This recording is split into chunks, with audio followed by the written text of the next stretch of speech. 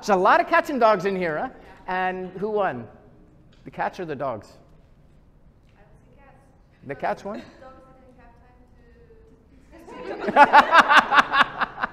Poor dogs, that's not fair. Human psyche is a lot more complex than just three types of personality. But for this workshop, we broke it down to just three.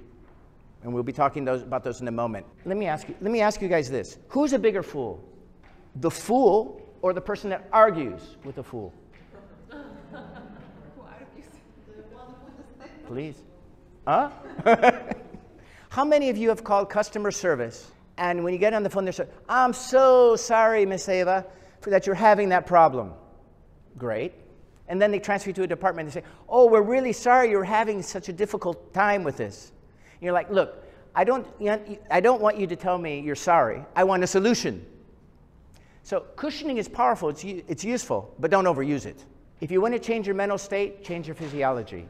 If you don't believe me, if you don't believe me, by changing your physiology, you change your mental state, go out and drink a couple of beers and tell me if that changes your mental state, right?